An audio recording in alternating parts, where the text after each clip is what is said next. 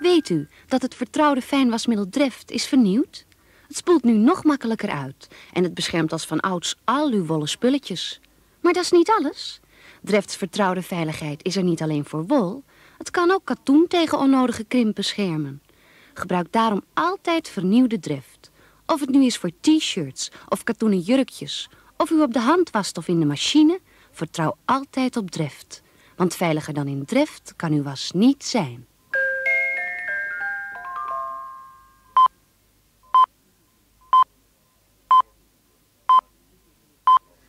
Vijf uur, radio-nieuwsdienst verzorgd door het ANP.